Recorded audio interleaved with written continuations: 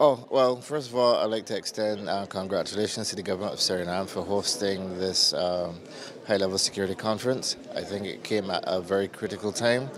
There's a lot of uh, issues that we are facing throughout the region. And one of the things that came out from all participants, both our member states within CARICOM and international partners, is that we need to share information, experiences, resources, as we can only uh, effectively uh, tackle the issue of transnational organized crime if we do it collectively and in partnership. Mm-hmm. And do you already have some solutions in place? Well, yes, uh, there are a number of identif- uh, solutions or recommendations that were identified.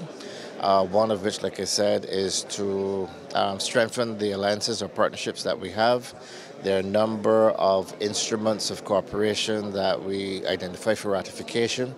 For example, on the maritime security front, there's the Treaty of San Jose that Suriname recently ratified. Uh, we have since learned uh, during our discussions that the several member states within the CARICOM, within the RSS or the regional security system, have identified that within the next six months or so, they will also ratify uh, the Treaty of San Jose.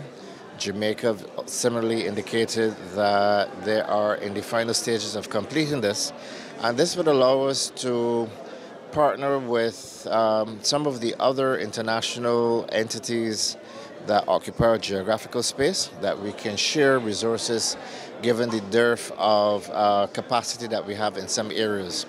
Likewise, on the area of cybersecurity, there's the Budapest Convention that we can accede or ratify to, as the Dominican Republic has done, and certainly as opposed to making the same developmental mistakes or taking time to learn, we can certainly learn from um, their own experience uh, the United Kingdom have offered some uh, assistance with resources that they have in the area. And like I said, as opposed to starting from scratch, we can learn and share from it with each other. To certainly recommend that we do it again next year, even if it isn't in Suriname. Um, security has been identified as the fourth pillar of CARICOM uh, since 2005.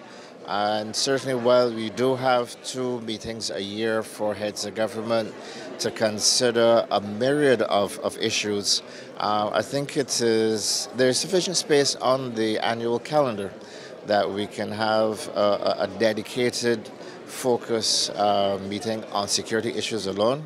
And it is certainly one of the recommendations that we taken from here uh, to report up to my Council of Ministers when they meet in June again this year.